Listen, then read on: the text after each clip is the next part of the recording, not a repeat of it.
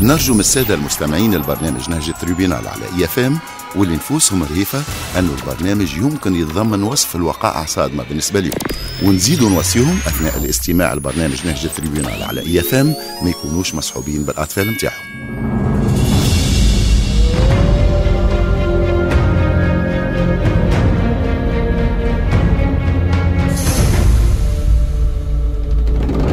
نهج ال Tribunal.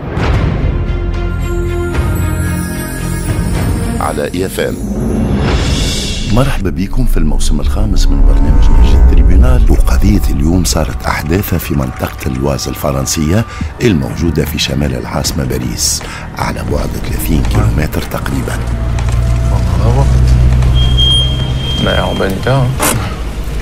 Population 7503 RC 60. الوقائع متاع هالقضية بدات نهار الأربعاء 31 ماي 1978 في منطقة الواز كما قلنا لكم ومع ماضي ساعتين ونص متاع الصباح. الدورية متاع حرس لقات كرهبة من نوع بيجو 504 على حافة الكياس. وبالتحديد في مفترق الطريق اللي ما بين ريباي وسان ماكسيمان. الكرهبة هذه لقاو البلار متاع ال pare-brise متاعها القدامي مضروب بالكرتوش. تضرب برصاصتين على الأقل وثلاثة كرتوشات من تالي في ال malle متاعها وفي ال calandre. في وسط الكرهبة الحرس لقاو ديدوي أغماد متاع رصاص ورجحوا أن وقع إطلاقهم بسلاح أوتوماتيكي. لقاو زادة محرمة متاع خشم مبلحتة بالدم. مجموعة متاع أوراق محطوطين في ملفات ومعاهم une seringue حقنة وخلينا نقولوا زريقة. فيها un sédatif مهدئ متاع أعصاب. ومع هذا الكل خريطة مفصلة للمنطقة عليها برشا علامات مكتوبين بال feutre الأحمر. متاع واحد قمر مواقع معينة. يقول القايل استعمل هكا الكرهبة هذيك غادي وينهم اللي كانوا فيها وشكون أطلق عليها النار. أول حاجة تبادرت الذهن الأعوان اللي قاموا بالاكتشاف هذا أنه الحكاية ربما عندها علاقة بعصابات إجرامية متخصصة في السطو على البنوك لبراكاج دو بانك. يمكن زاد أفراد متاع عصابة من العصابات دخلوا في خلاف مع بعضهم وتقاتلوا. وهذه مالها إلا تخمينات فرضتها المحتويات متاع السيارة وخاصة هكا الخريطة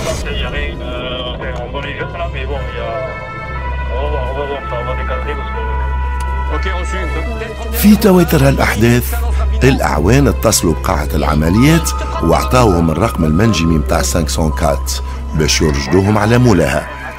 وما بطاوش برشا وعرفوا أن السيارة هذيك هي متاع مرض زميلهم. حرس من منطقة لاسوم اللي تبعد 90 كيلومتر على مدينة الواس. الكرهبة بالطبيعة تسرقت وسبق أن مولاتها عملت فيها بلاغ. ولهنا شرطة كراي هي اللي تكلفت بملف القضية وانطلقت في التحريات Ok, reçu. 140 Alpha de 31, une mission sur votre commune.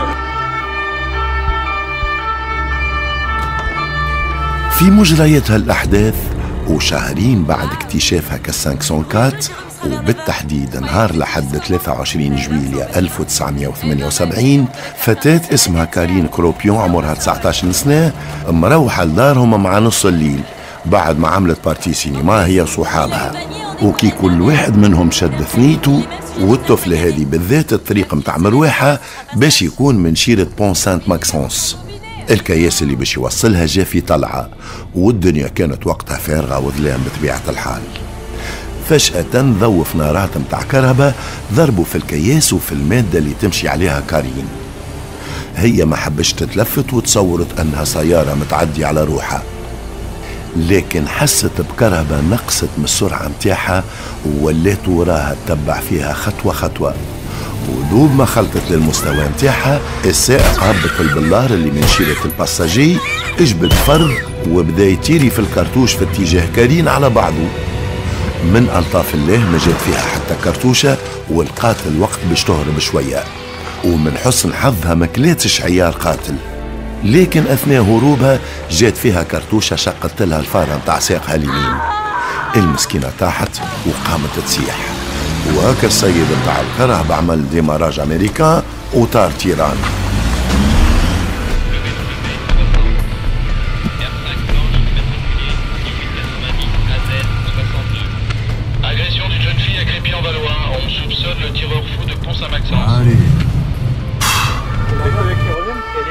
في تواتر هالأحداث الأمنيين وصلهم الخبر وأسعفوا كارين وألقاوا عليها بعض الأسئلة فيما يخص الشخص اللي اعتدى عليها. تعرف شي أوصافه ولا سجلت شي الرقم المنجمي متاع كرهبته كارين قالت لهم اللي هي ما نجمتش تشوف الرقم المنجمي لأنه الدنيا كانت ظلام. لكن عرفت أنه السيارة هي من نوع رونو دوس بالنسبة لأوصاف المعتدي قالت أنها ما تمكنتش باش تثبت في الملامح نتاعو. لكن حسب أقوالها الوذنين نتاعو كبار برشا.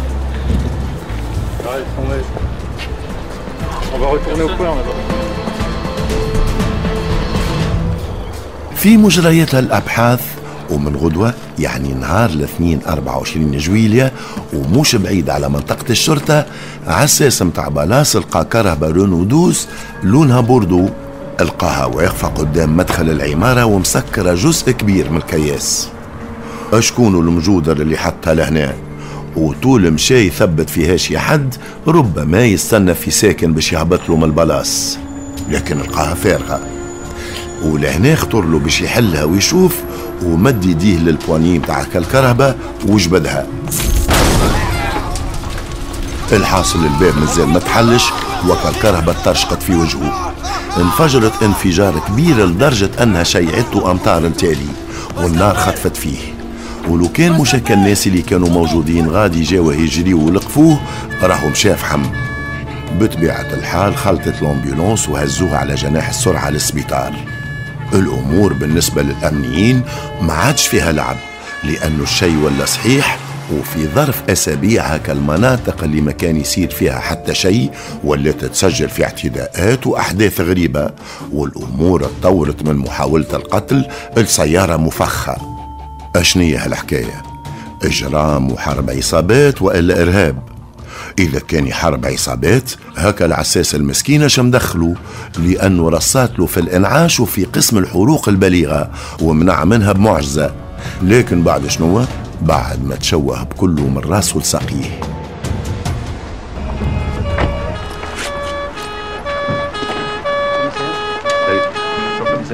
في المرحلة هذه من الأحداث الخبراء متاع المتفجرات اللي عاينوا السيارة قالوا أن العبوة اللي وقع استعمالها هي une bombe artisanale يعني قنبلة تقليدية مصنوعة من مبيد حشائش un désherbant والكرهبة هذيك اللي انفجرت ظهرت مسروقة وعلى ملك فلاح من هاك الجهة. الحادث هذا بطبيعة الحال باش يعمل ضجة كبيرة وحالة من الرعب مش كان في المنطقة اللي صارت فيها لكن في فرنسا بكلها. اللي في هكا العوام يعني في سبعينات القرن الماضي ما كانتش متعودة على العمليات الإرهابية كما اللي يصيروا في أياماتنا هذم والمعطى الآخر هو عدم امتلاك الشرطة والحرس للتقنيات الحالية اللي تمكن من اقتفاء أثر الإرهابيين وإلا المجرمين. خاصة وأن قنوات التواصل ما بين الأمنيين شبه منعدمة في داخل السلك بكله ما بين الفرق بأنواعها. الذولاء كل فرقة تلعب على ضربوها زيد معهم غياب التقنيات الاتصالية أغلب القضايا تمشي في طي النسيان وتبقى بلاش حلول. Actuellement, nous redisposons pour effectivement protéger l'ensemble des communes. Vraiment, ça fait peur. C'est horrible. Terrible. في هالمرحلة هذه المسألة باش تاخذ منعرج آخر نهارة اللي رئيس منطقة الشرطة متاع كراي لقى في الكوريي متاعو جواب غريب. الجواب هذا مجهول المصدر وممضي بنقطة استفهام. Monsieur, cette lettre est écrite afin de vous fournir quelques précisions concernant la voiture Renault 18, immatriculée 7503 RC60. السيد اللي بحثه حكى على كالسيارة الرونو المفخة واعطاه اسم العساس جون جاك فيربيك. وزاد حكى على كالطفلة كارين كروبيون واللي صار لها ليلة اللي روحت من السينما يعني نهار لحد 23 جويليا ومن جملة ما قال في الرسالة متاعو طفلة عمرها 17 سنة مروحة تترنح في عقابات الليالي وتستفز في خلق ربي. هذا هو النوع اللي نموت عليه. أنا قاتل وباش نقتل ونزيد نقتل وكريم تعرفني مليح أما مستحيل باش تتذكرني. والمرة الجاية باش نقمر طول في القلب مش في الساقين. هذا هو ملخص الكلام اللي جاء في الرسالة هذه الغريبة. رئيس منطقة الشرطة أعرض هك الرسالة هذيك على الأخصائيين.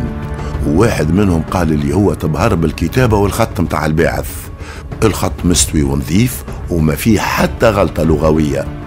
برشا ثقة في النفس وخاصة استعمال ألفاظ وجمل يستعملوهم في العادة الأمنيين.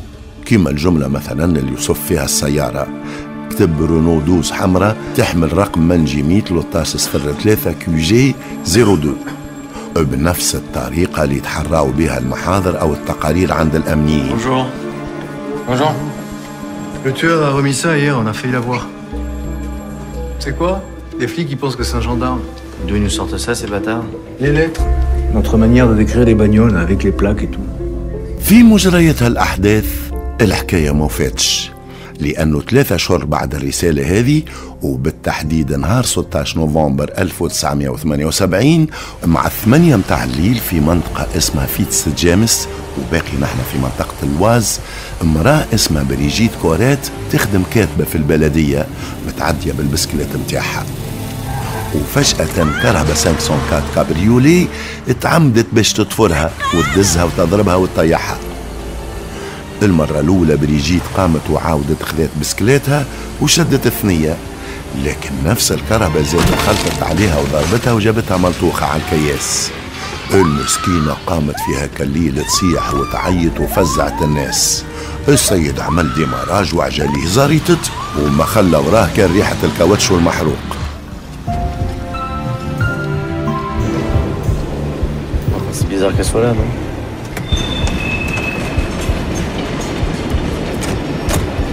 في تواتر هالأحداث ونهارين بعد هالحادثة هذه يعني في 18 نوفمبر عون متاع حرس اسمه أنا لامار كان في دورية مع جندي من هكا اللي يختاروهم وقت الشدة باش يعزوا الأمن. وفجأة عينه جات على كرهبة 504 كابريولي بجنب la gare متاع أوري لافيل. معناها باقي في شيرة الواز. عون الحرس على لامار اطلب من هكا الجندي باش يحلها. ودوب ما حط يده على ال poignée وباش يحل. وهكا الكرهبة انفجرت عليه حرقت له وجهه ويديه ومشى في حالة خطيرة للسبيطار. وأكيد راكم فهمتوا أنه سيارة ثانية مفخة معناها الأمور ماهيش باش تقف. والشي على ما يبدو باش يزيد. ولهنا ولات حالة استنفار كاملة في فرنسا واجتماعات مغلقة في مناطق الشرطة وفي الداخلية وفي رئاسة الجمهورية وحتى من رئيس جيسكار ديستان ادخل في العجة. شكون هالمجرم أو الإرهابي اللي عنده مدة مروع منطقة الوازب كلها؟ زعم هالعمليات ومحاولات القتل اللي صارت منفصلة على بعضها وإلا شخص واحد هو المسؤول عليها. زعما هو نفسه اللي حاول يقتل العباد ويفخخ السيارات وإلا أكثر من شخص يعني زوز أشخاص منفصلين. وافترضوا أنهم علاش ما يكونوش عصابات أو مجموعات إرهابية زادة. الأسئلة كثرت ومعها الاستفهامات والشي ماشي ويزيد.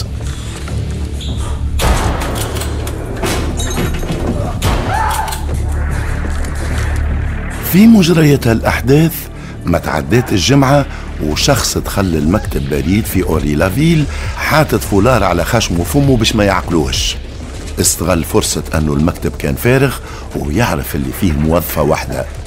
دزك الباب البراني وسكره بعد ما دخل وجبد فرد وهدد بيها كالموظفة. قال لها هاتش عندك في الكاسة ما كانش الكرتوشة نحطها لك ما بين عينيك. وكان الموظفة المسكينة ما كان عندها حتى حل. جبدت له الفلوس الكل اللي كانت موجودة ومدتهم له. هو بطبيعة الحال عبى مكاتبه وطار تيران.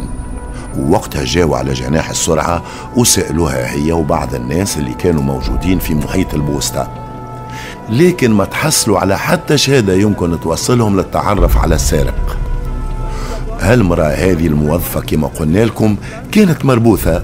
لكن في ساعة داركت وقت اللي سألوها على أوصافه وتذكرت معطى عنده قيمة كبيرة برشا في قضيتنا. قالت لهم أنه السيد اللي براك البوسطة عنده ميزة خاصة. هي هالميزة قالوا لها؟ قالت لهم وذنية كبار برشا. يعني نفس المعلومة اللي أعطاتها هكا الطفلة كارين اللي كانت مروحة من السينما ومنعت بالروح من الكرتوش متاعك المعتدي. ولهنا الخيوط بالنسبة للشرطة بدأت تتربط والعمليات هذه بدأت تنسب لشخص واحد. بما فيهم السيارات المفخة وبما أنهم لقاو بصمات على الكونتوار متاع البوسطة وطلعت مطابقة للبصمات اللي لقاوها على 504 المضروبة بالكرتوش وكيف كيف على كالسيارة ال R12 اللي ترشقت فرضية أنه بولوذنين هو صاحب العمايل الكل بدأت تفرض في روحها عند المحققين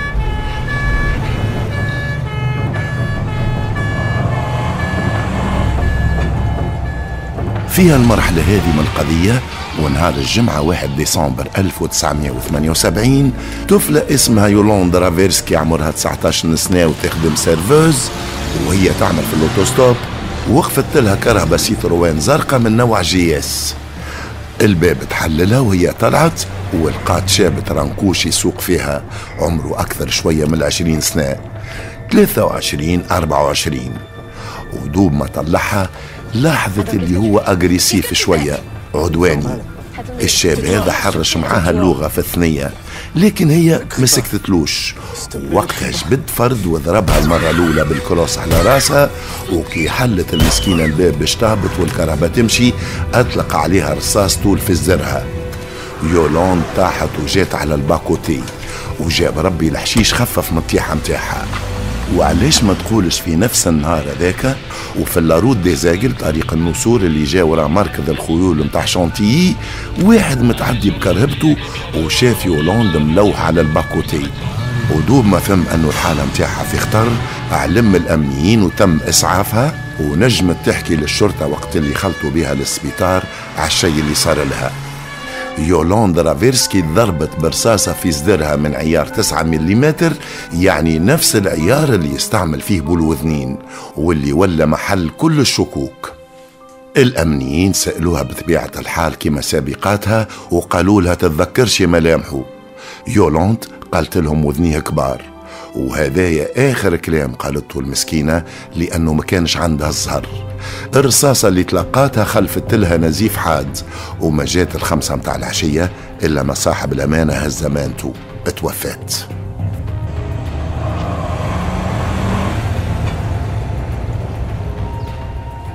فيها التطور هذا من القضية ونهار 29 ديسمبر 1978 مع نص نهار تقريبا 504 خارجة من مدينة كومبيان وبابها تحل فجأة وطاحت منها مراه ومشيت طول تتكركب لل bas-côté وما وقفتها كان شجرة. المراه هذه اسمها أندري بواري.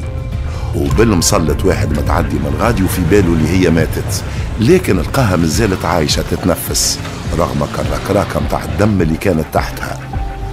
أندري هذه عمرها 19 سنة وكانت تعمل في l'autostop وبعد ما تم إعلام الشرطة وإسعافها هالطفلة هذه أندري بواري قالت لهم اللي هي كانت تعمل في stop ووقفت لها كرهبة 504 خضرة فيها شبيب محجم ونظيف ولبس مليح. طلعت معاه ودوب ما مشى بيها قال لها باش نوجعك. هي المسكينة ما فهمتوش. وبالوقت خشمها على وجهها بيده غشمة اللي هي شعرة لطير لها سنيها.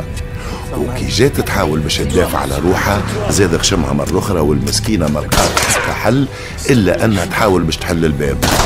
وقتها جبد فرد وتخلى عليها بالكرتوش لكن في الأثناء الباب تحل وطاحت. وهذا ما منعش أنها تلقات رصاصة دخلت لها في العمود الفقري متاعها. أندري بواري المسكينة منعت ما ماتتش. أما تحكم عليها تعدي بقية حياتها على كرسي متحرك. ولهنا من غير ما نقول لكم انه الدنيا خاضت خاصة وقت اللي الطفلة هذه قالت أنه السيد اللي ضربها وذنيه كبار وأكبر من وذنين القاضي Entrez. Je viens de recevoir une description du type. Regarde. فيها التطور هذا الدق وصل للدربالة ورصات وزير الداخلية بنفسه يباشر في التحقيق. وكيما سبق وقلنا لكم البصمات متاع الجاني وقع جمعها. هكا اليدوي متاع الكرتوش يعني الأغمدة كيف كيف. ومن الأوصاف اللي أدلاو بها الضحايا متاعو اللي أسعفهم الحظ وما ماتوش تمكنت الشرطة من التحصل على رسم تقريبي un portrait-robot ووزعوه على المصالح متاعهم الكل. الرعب ولا على أشد في منطقة الواز وفي باريس خاصة وأنه عامين التالي قاتل متسلسل اسمه مارسيل باربوت عمل بعماله اقتل سبع نساء وراجل وعنده ثلاثة محاولات قتل أخرين في سجله ما بين 1969 و 1976 الناس الكل تذكرته وخافوا أنه قاتل متسلسل جديد أعنف منه أوحش منه ولا يتحرك ويحوم في منطقة الواز وما جاورها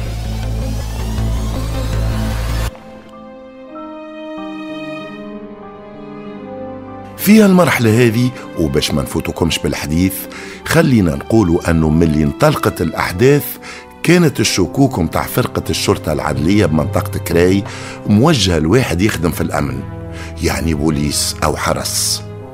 السبب في هالشكوك هذم هي الرسالة اللي تبعثت لمنطقة الشرطة وسبق أن حكينا لكم عليها. مفتش اسمه دانييل نوفو كلف وقتها رئيس المنطقة باش يتعاون مع أخصائيين في الخط. des graphologues وبطبيعة الحال باش يحصر الملامح متاع شخصية اللي بعثها الرسالة. ولهنا دانييل نوفو اختار له باش يوري هكا الجواب لمرته وقال لها شوف المجرم مش بعث العرفي. مرته قرات هكا الرسالة هذيك وقالت له طول هذه كتيبة متاع واحد حرس. رجلها بدأ يضحك عليها. قال لها شنو وليت تدقز؟ لكن مرته قالت له نحكي معك بجدي وكلمة هذه كتيبة متاع حرس ما قالتهاش هكاكا لأنه هالمرأة هذه كانت تخدم مسؤولة على ال caisse في supermarché. ومن جملة الأشياء اللي لاهية بها هي الدفعات والشيكات بدون رصيد اللي تجي من طرف الكليونات والمطالب اللي قدموها باش يطلبوا مهلة متاع دفع. وبطبيعة الحال عندها برشا من المطالب هذم ومن بينهم اللي كاتبينهم أعوان متاع حرس. وكي شافت الرسالة هذيك اللي وراها لها راجلها تذكرتهم دانييل نوفو راجلها من الأول ما عطاش أهمية لكلام مرته لكن بشوية بشوية بدا يقتنع بكلامها.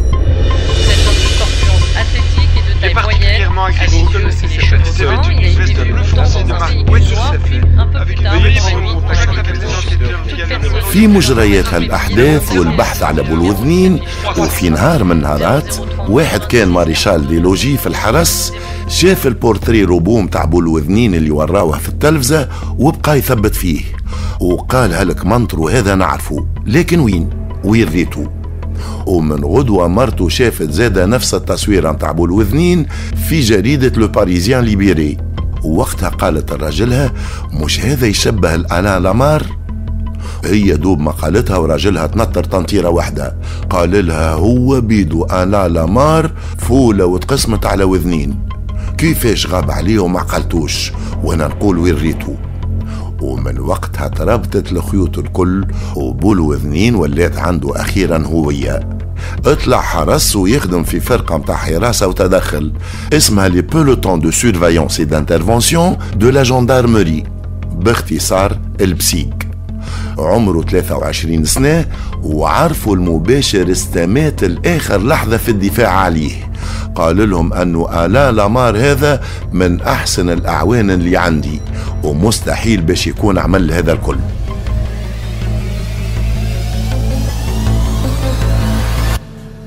في المرحلة هذه يلزمكم تعرفوا أن التعليمات اللي جات للحرس وللشرطة أنهم ما يقولوا حتى كلمة للأعلام ولا يكشفوا على الهوية متاع وذنين. حتى لين تكمل التحريات الكل ويعملوا خطة محكمة باش يشدوه لأنه أولا مسلح ثانيا متدرب في الحرس ومن ألمع الأفراد اللي عندهم وثالثا ذكي برشا وإذا كان عرف اللي هما فاقوا به ربما يقوم بجرائم أخرين أشنع. بالنسبة للأدلة المادية الكل ولات الدين بولوذنين يعني ألان لامار. وأولهم البصمات اللي طلعوا بكلهم متاعو. وزيد السلاح اللي يقع استعماله يعني البيرتا 9 ملم معروف أنه هو السلاح اللي يعطيوه للحرس مش للشرطة أو للقوات الخاصة. فوق من هذا الأوصاف اللي تعطات الكل هما متاعو. وأولهم الوذنين الكبار اللي ما عنده فين يهرب بيهم ولا يخبيهم.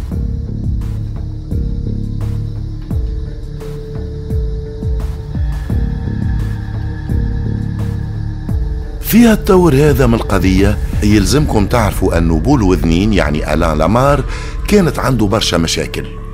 عاتي برشا شيكات بدون رصيد وقالب برشا عباد في فلوسهم. وفوق هذا ودونه بالبصمات متاعو عرفوا اللي هو قام بعدة سرقات بالخلع ومحاولة سرقات. وبالنسبة للاعتداءات اللي قام بيهم وقت اللي نشقوا ما بين مراكز الشرطة بتاع منطقة الواز نلقاو بولوذنين عنده اعتداءات أخرى في سجله وديما يستهدف الفتيات.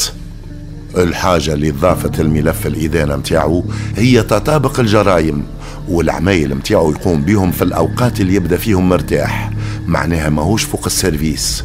والمحقين تبعوا l'emploi du temps متاعو يعني جدول أوقاته تبعوه بالتدقيق في العامين اللي فاتوا ولقاو أنه الشيء اللي صار بكله في الأيامات متاع العطل متاعو وفهموا اللي هو كان على علم بالتحركات متاع زملائه الكل وبحكم انتمائه للحرس. في باله بيهم وين متمركزين ويعرف لي باراج متاعهم ويسمع في مكالماتهم ويقرأ زاده في التقارير. وبالطبيعة بحكم أنه باشر في خدمته يعرف كل شيء. وهذا هو اللي سهل له المأمورية متاعه وخلاه يفلت في كل مرة من قبضة البوليسية أو من زملائه.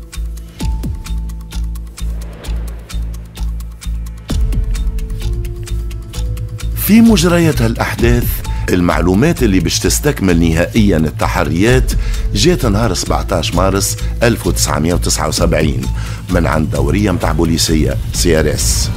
الدورية هذه وقفوا بالوذنين يعني ألان لامار في كرهبة مذخمة برشا على ملك وزير سابق. بولوذنين عديها عليهم. ما عطاهمش الهوية الصحيحة متاعو. قال لهم اللي هو ولد الوزير. وما فاقوا كان من بعد أنه الكرهبة هذيك مسروقة إلا بعد ما جاهم البلاغ. لكن الأوصاف اللي عطاوها هي نفسها متاع علان لامار بولوذنين الكبار. واللي ما كانش في باله أنه الشرطة عرفت اللي هو مولى العمايل الكل وباقي عنده أمل أنه يفلت منهم. لكن في المرحلة هذه جاء القرار متاع إيقافه عن العمل واتخاذ التدابير اللازمة لتجنب أي ردة فعل عنيفة أو جنونية منه. وصادف أنه القرار هذا إخذاوه وهو في إجازة.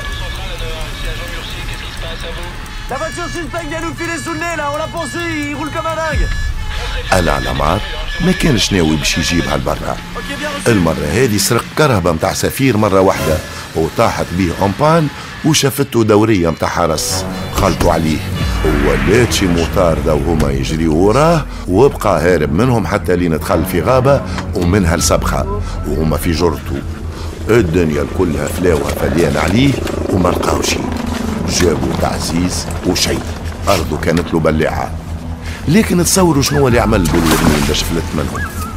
أهبط في هكا السبخة كسر قصبة من القصب اللي نابتة على حافة الماء واغتص بكله واستعمل هكا القصبة هذيك باش يتنفس. معناها فازة متاع أفلام. أما عملها؟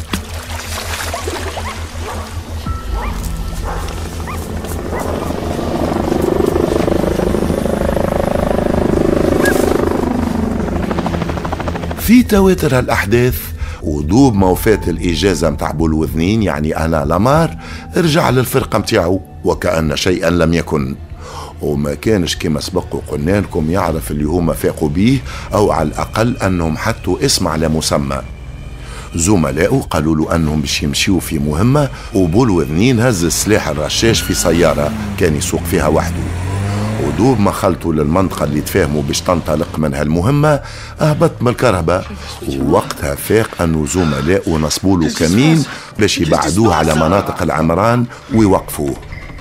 ألا لامار جا باش يرجع لك الكرهبة ويجبد السلاح الرشاش. لكن الأعوان في ما توقوه وهو حاول باش يجبد الفرد متاعو لكن من بعد تراجع لأنهم كانوا برشا ومستحيل باش يفلت منهم. ووقتها سلم روحه. Chef, on va où là? Qu'est-ce que vous faites?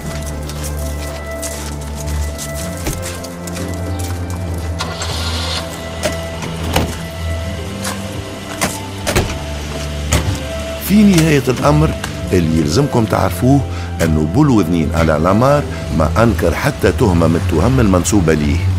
أحكى على كل شيء جملة وتفصيلا. أما حتى واحد ما كان ينتظر أنه المحاكمة متاعه باش تتحول المعركة متاع أخصائيين نفسانيين. التقارير اللي عملوها البسيكياتر بكل ترفع عليه كل مسؤولية جنائية. السيد ردوه غير مسؤول جنائيا وبالتالي ما تحكمش. حولوه الوحدة متاع الأمراض النفسية المستعصية اليو إم دي. وبقى فيها حتى العام 2011 ومن بعد بعثوه المستشفى آخر متاع أمراض عقلية في مسقط رأسه يعني في البات كالي وإلى يومنا هذا يعيش غادي أما عنده الحق يخرج من المستشفى ويختلط بالعباد لأنه حسب الأطباء الحالة متاعه تحسنت Chef, je peux vous parler Cette affaire ne regarde pas la PJ. Ça restera à la gendarmerie. في نهاية القضية خلينا نقولوا أنه يحرز له اللي جاء أمني ولو كان هالأعمال هذم قام بهم مواطن آخر راهم بعثوه ورماوه مدى الحياة في غياهب السجن. لكن ألا لامار بولوذنين وقفوا له فيها. الزملاء يعني انصر زيك ظالما أو مظلوما.